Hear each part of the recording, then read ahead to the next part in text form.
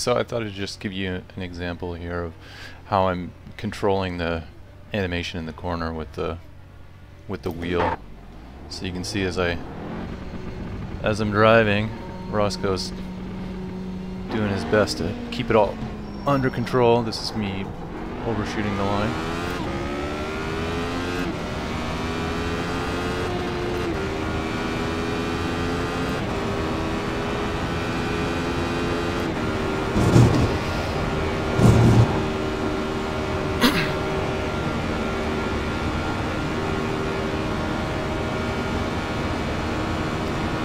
You can see as I come up to this next turn, it'll be, the animation will clip at a certain degree. See that it doesn't go beyond the 30 degrees on either side. So, it just sets up the scope for the animation. Alright, so let's take a look at what's actually going to happen here.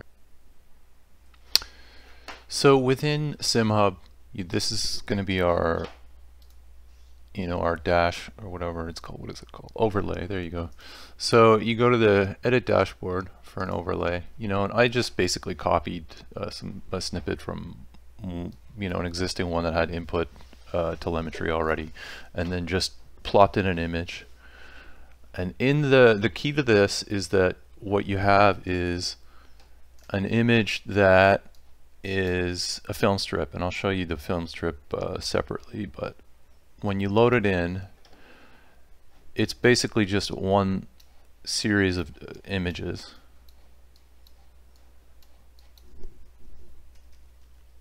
And then what happens is the animation is driven by a script. And uh, I'll have to blow this up after. The script basically just translates the image in a fixed way. Uh, so that instead of getting, because if you just use this property to translate uh, like you would get with like, you know, a linear uh, um, rotation feedback, it's gonna it's gonna slide up and down. You're not gonna get these steps. So what you want to do is actually create the stepping motion by by with a script. And so what I'm doing is I'm dividing the height of the image or the, the amount of steps by the rotation angle.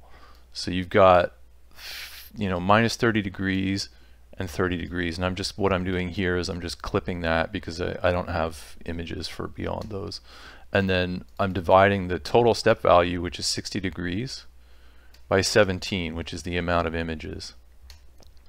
And then, and then basically the image index is, you know, zero is your first image, one is your next, two, so on and so on. And so it's going to step through those and it's going to make the vertical offset step by that amount which is 400 the image height is 400 so you could see that in the in the uh, SimHub uh, options there and so what happens is you take your image height and you derive your image index from this rounded um, input angle divided by the step value. And then you have to multiply it by negative 1 because it's not offsetting vertically uh, in the positive, it's doing negative. So then, and then here, this is just a clamp for, I think I miscalculated up there, so this is kind of a bit of a hack. So and then you return the vertical offset, which is which is what I've set this uh, uh, variable for the, the, the, the thing. So, and that's pretty much it. It's not very complicated. You're literally just saying, I have all these images and I just want to jump this amount. And that's what the script does. In a really simple example, um, I have a brake light indicator. I got some new pedals.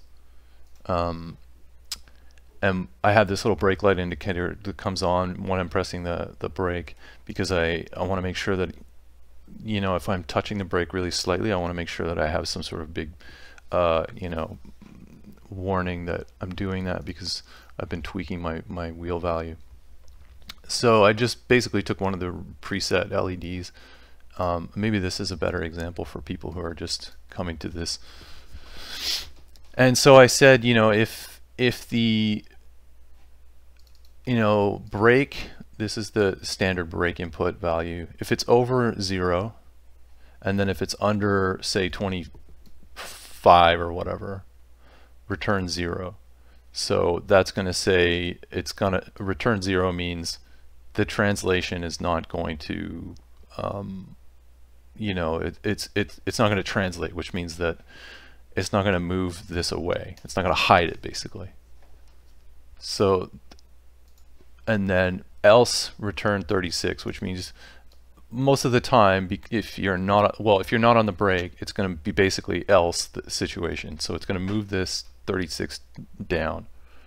Um, or and then so you're not going to be actually seeing it. So what happens is when you're pressing the brake, it's going to be defaulting to this situation.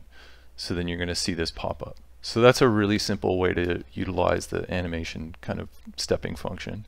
Um, it's the exact same principle as what I did with the Roscoe driving, um, but maybe a little bit easier to understand how this expression is driven.